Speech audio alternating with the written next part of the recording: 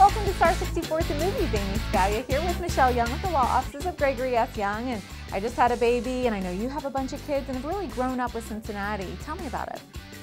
The law firm um, has evolved out of a love of Cincinnati and the law. For three generations, from grandfather to the father to the son, and hopefully to our next generation of children, the Youngs have loved the city with a great passion and love the law. Uh, we're going to learn more about it right here at Star 64 The movie.